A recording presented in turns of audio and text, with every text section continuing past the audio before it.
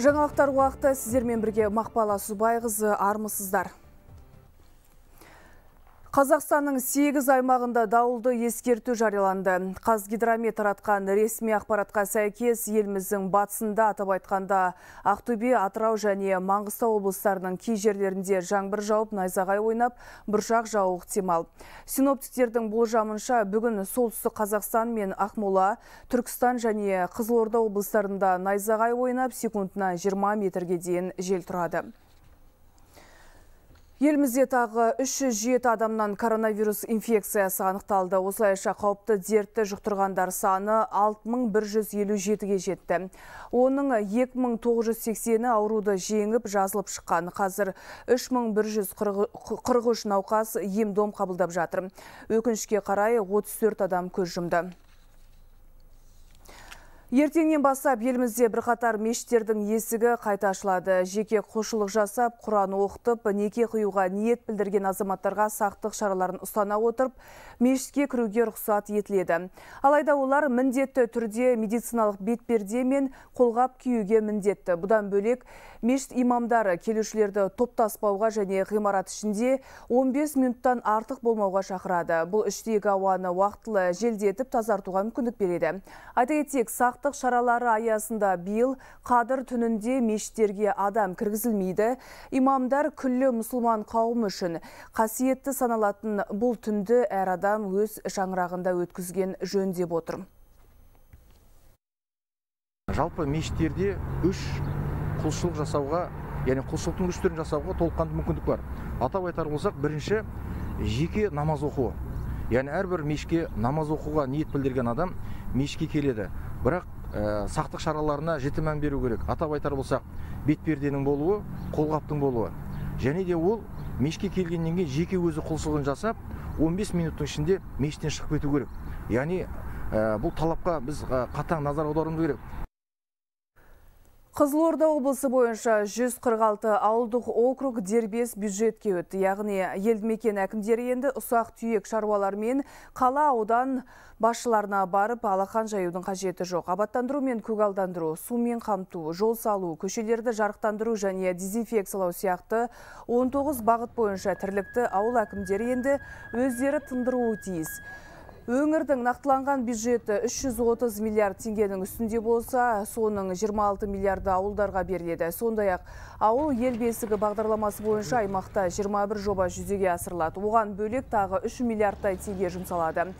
Қаладан жырақ қоныстанған ағайының тұрмысын жақсартуға бөлінген қыруар қаржы мақсатты жұмсалса игі. Осы ретте антикор орталығының мамандары әр теңгенің сұрауы болатынын айтады. Жол картасы бағдарламасы жұмыспен қамтудың бизнестің жол картасы бағдарламасы осы бағдарламалардағы қаражаттың көлемі біршама ұлғайған. Жүзге жуық облыс көлеміндегі жобалар бойынша қаражаттың жұмсалуына біз күнделікті бақылау жасайтын боламыз. Жалпы өткен жылдармен салыстырғанда саладағы құқық бұзушылықтардың елеулі азайғанын көреміз. Биыл Ақтөбеде 100 көпқабатты үйдің ауласы жөнге келтіріледі. Баспаналардың алды асфальтталып, жаяу жүргінші жолына 30 мың шаршы метрден астам қырлы тас төселеді. Бұл мақсатқа жұмыспен қамтудың жол картасы бағдарламасы аясында республикалық бюджеттен 590 миллион теңге бөлінген. Жаңғырту жұмыстары негізінен іргетасы өткен ғасырда қаланған шағын аудандарда жүргізілмек. Балалардың ойын алаңдары мен спорттық алаңқайлар орнатуда жоспарда ескерілген. Сондай-ақ бұдан бұлай шаһарда қараңғы көшелер болмауы тиіс. Қазір жарықтандыру қондырғыларын орнатуға байқау жарияланды. Жалпы 400-ге жуық LED шамдар орнатылмақ.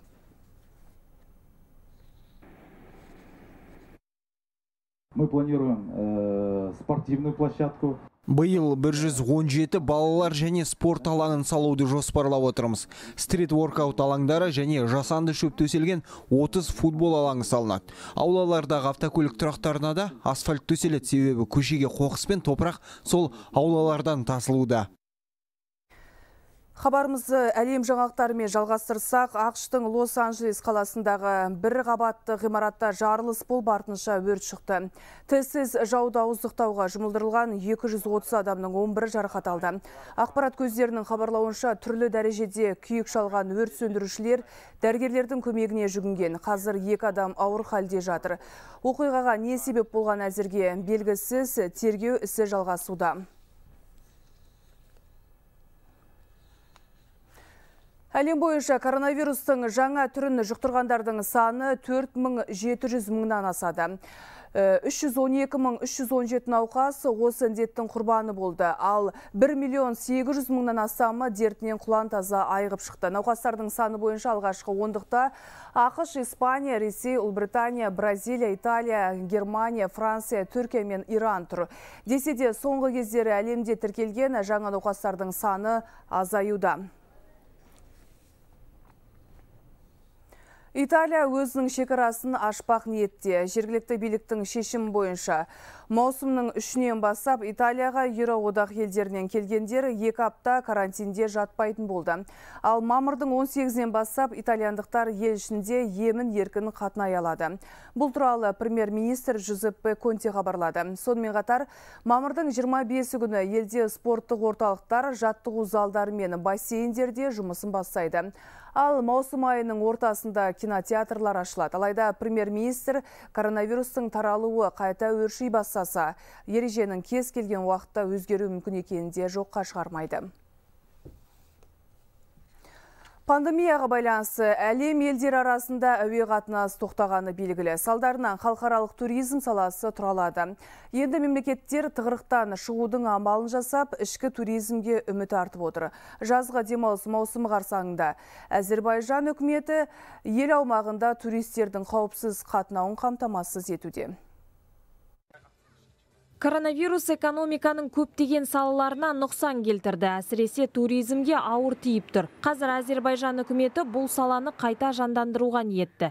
Елдегі карантин тәртібі де біртіндеп жеңілдетіле бастаған. 18 мамырда дәмхана, мейрамханалар ашылады. Бұл тұста қауіпсіздік шараларын қамтамасыз етуге ерекше көңіл бөлінеді ə, туризмнің бәрпасы. Туризм саласын қайта жандандырудың басты шарты туристік нысандардағы денсаулық қауіпсіздігі. Негізгі санитарлық тазалық ережелері мен әдістерін белгілейтін сақман бағдарламасы әзірленді. Оны барлық отельдер, мейрамхана, дәмханалар сақтауы тиіс. Сақман белгісі қонақтарының қауіпсіздігіне кепіл болмақ табысынан қағылып енді қалай болады деп әзер отырған компаниялар қазір қонақ тартудың түрлі әдістерін меңгеруге көшкен. Соның бірі тұтынушыларды ынталандыратын арнайы туристік пакеттер дайындалуда.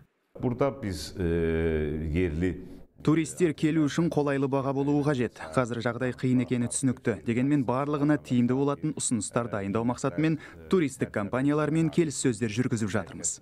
Соңғы мәліметтер бойынша Әзербайжанда бірінші тоқсанда отельдердің табысы 16 процентке азайды. Тек наурыз айының өзінде қонақ саны екі есе қысқарған. Сондықтан ендігі басты мәселе туристердің қауіпсіздігін қамтамасыз ете отырып, ел аумағында саяхаттауға ынталандыру. Арайлым жақсылық қызы Шафагалиев, Айгюн Гасан, Хабар 24, Әзербайжан, Баку.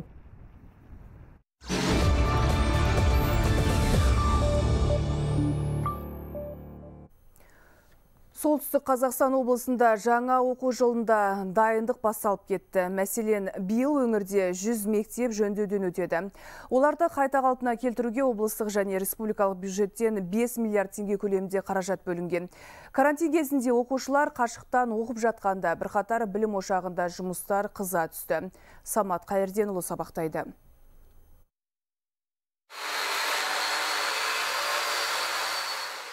Бұл облыс орталығындағы әл-фараби мектеп лицейі. Осыдан 5 күн бұрын мұнда күрделі жөндеу жұмыстары басталды. Қазір білім ошағының барлық электр жүйесі жаңасына ауыстырылып жатыр. Сымдардың жалпы ұзындығы 10 шақырымнан асады. Ал бұдан соң терезелер алмастырылады. Бұл мақсатқа жалпы сомасы 34 миллион теңгеден астам қаржы қарастырылған екінші кезеңде балалар оқыған кезде қараңғы болушы еді енді биылғы жылы біз осы карантин кезін ұтымды пайдаланып жөндеу жұмыстарын ерте бастап жатырмыз оқу процесіне ешқандай кедергі жоқ өйткені қазір балалар қашықтан оқып жатыр.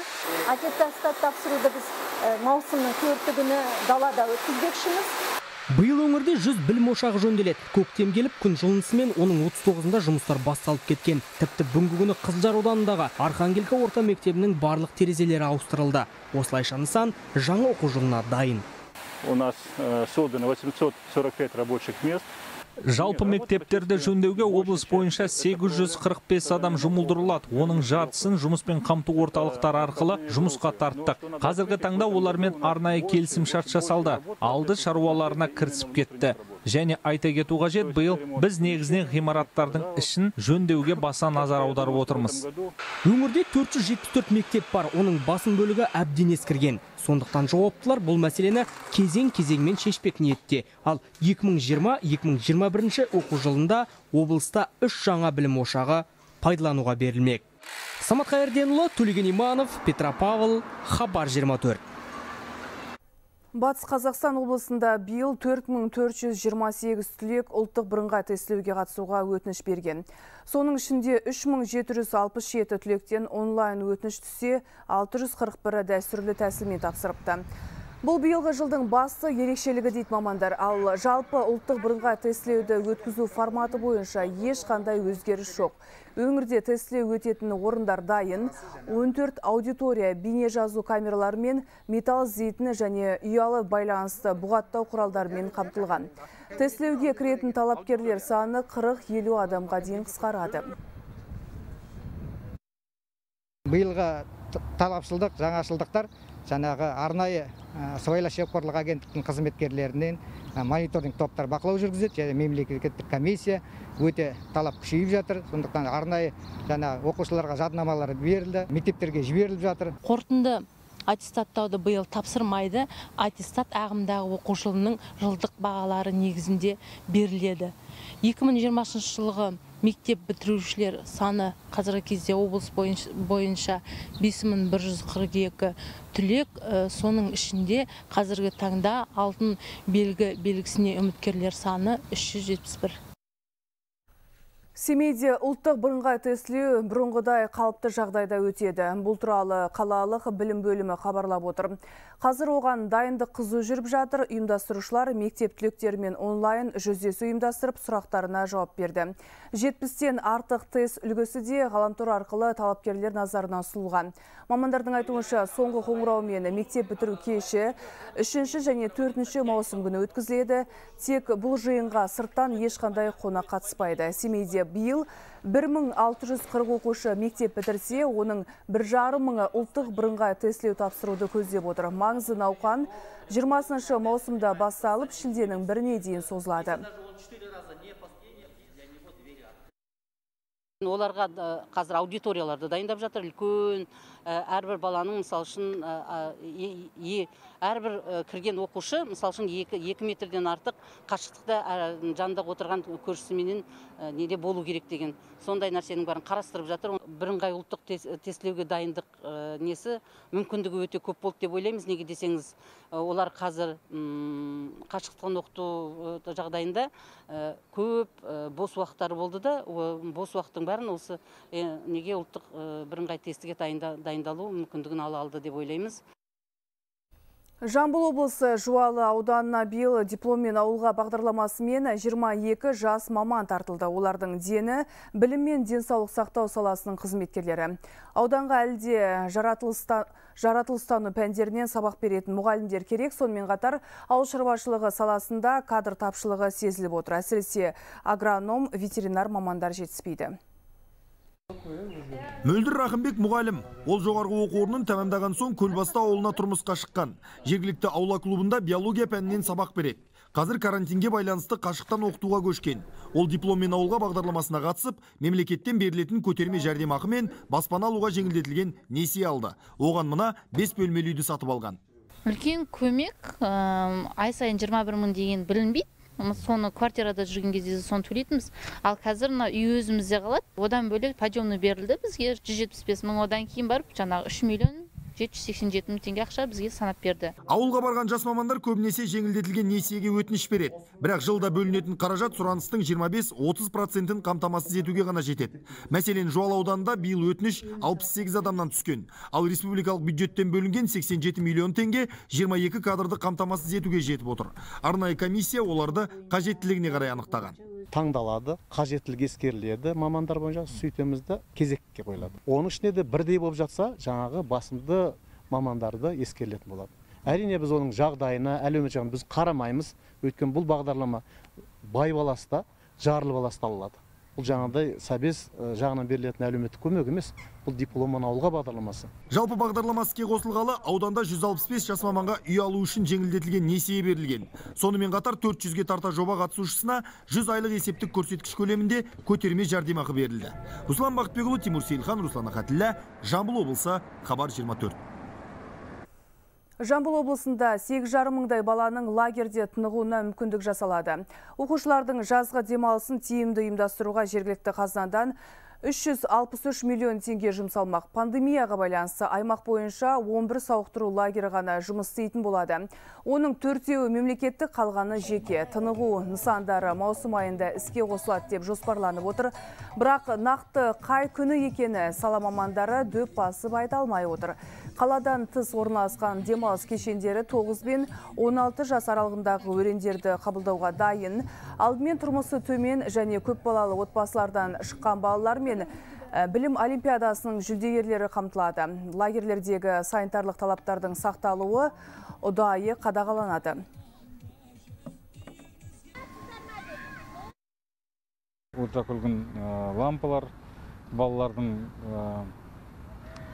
температурасын күніне кемінде екі рет өлшеу азанда кешке деген сияқты бес реттік ылғалды бес реттен кем емес ылғалдық жуу тазалау корпустарды сонымен қатар бұл лагерлерге бөгде адамдардың кіруіне шектеу қойылатын болады. Тек қана сол лагердегі қызметкерлер және балалардың болуын қамтамасыз етеміз деп отырмыз. Ертеңнен бастап елімізде бірқатар мешіттердің есігі қайта ашылады. Жеке құлшылық жасап, Құран оқытып, неке қиюға ниет білдірген азаматтарға сақтық шараларын ұстана отырып, мешітке кіруге рұқсат етіледі. Алайда олар міндетті түрде медициналық бетперде мен қолғап киюге міндетті. Бұдан бөлек мешіт имамдары келушілерді топтаспауға және ғимарат ішінде 15 минуттан артық болмауға шақырады. Бұл іштегі ауаны уақытылы желдетіп тазартуға мүмкіндік береді. Айта кетейік, сақтық шаралары аясында биыл қадыр түнінде мешіттерге адам кіргізілмейді. Имамдар күллі мұсылман қауымы үшін қасиетті саналатын бұл түнді әр адам өз шаңырағында өткізген жөн деп отыр. Жалпы мешіттерде үш құлшылық жасауға яғни құлшылықтың үш түрін жасауға толыққанды мүмкіндік бар атап айтар болсақ бірінші жеке намаз оқу яғни әрбір мешке намаз оқуға ниет білдірген адам мешке келеді. Бірақ ә, сақтық шараларына жіті мән беру керек. Атап айтар болсақ бетперденің болуы қолғаптың болуы. Және де ол мешке келгеннен кейін жеке өзі құлшылығын жасап 15 минуттың ішінде мешіттен шығып кету керек. Яғни ә, бұл талапқа біз қатаң назар аударуымыз керек. Евровидение 2021 Нидерландтың Роттердам қаласында өтетін болды. Еске салайық, биыл Евровижн 2020 мамырда дәл осы шаһарда өтуі тиіс еді.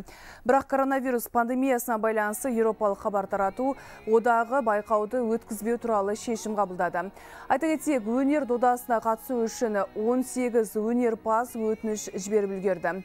Олардың барлығы биылғы сайысқа қатысу керек болатын. Алайда сарапшылар қатысушылардың тізімі әлде өзгеруі мүмкін екенін айтады Германия Бундеслигасы ойын қайта жандандырды. Алғашқа кездесу Дортмунд қаласында Боруссия мен Шальке 0-4 командалар арасында өтті. Ойын көрерменсіз ұйымдастырылды. 4-0 есебімен Боруссия командасы жеңіске жетті. Айта кетсек, Германия чемпионаты COVID-19 пандемиясына байланысты тоқтатылған болатын. Жуырда Германия футбол одағы коронавирус пандемиясы кезінде матчтарды өткізу ережесін өзгертті. Жаңа талапқа сай команда құрамасы жасыл алаңға балаларсыз шығып қол алыспайтын болды. Суретке де түсуге тыйым салынды. Ал көрермендер ойынды көгілдір экран арқылы тамашалай алады.